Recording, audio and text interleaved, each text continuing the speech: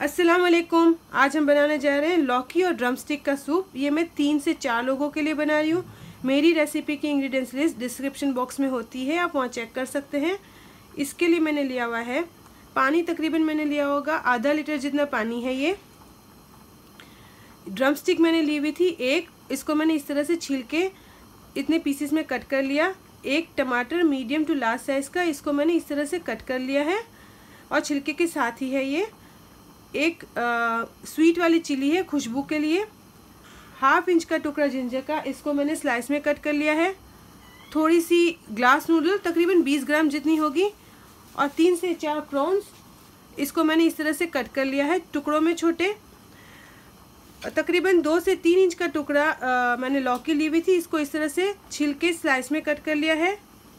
चार से पाँच जब ये गार्लिक के थे मेरे पास, इसको भी मैंने स्लाइस में कट कर लिया है। एक टेबलस्पून जितना हरा धनिया one teaspoon soya sauce one teaspoon fish sauce नमक अपने टेस्ट के हिसाब से हाफ़ टी स्पून जितनी ब्लैक पेपर हमने पहले स्टॉक रेडी करना है, इसलिए मैं पानी को पहले बॉईल करूँगी और इसके अंदर ये सारी चीज़ें डाल दूँगी।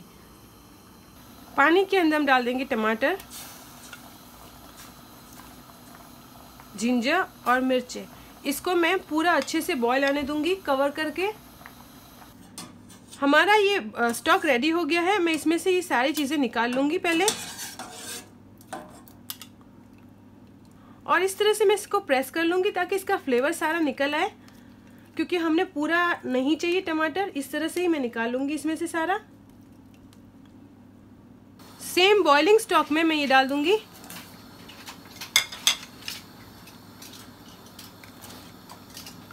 और लहसुन। ये सारी चीज़ें हम इसमें डाल देंगे। नमक और ब्लैक पेपर फ़िश सॉस और सोया सॉस और ये चाजन। आई सॉरी ग्लास नूडल इसको अब मैं बॉईल होने दूँगी जब तक कि ये सारी चीज़ें पक जाएगी। कवर कर लूँगी मैं इसको। हमारी ये सारी सब्ज़ियाँ हैं, ये बॉईल हो चुकी है। अब मैं इसमें डाल दूँगी प्रॉन्स और इसको जब तक प्रॉन्स पकते हैं, जब तक इसको मैं पकाऊँगी, फिर ये डिश आउट के लिए रेडी है।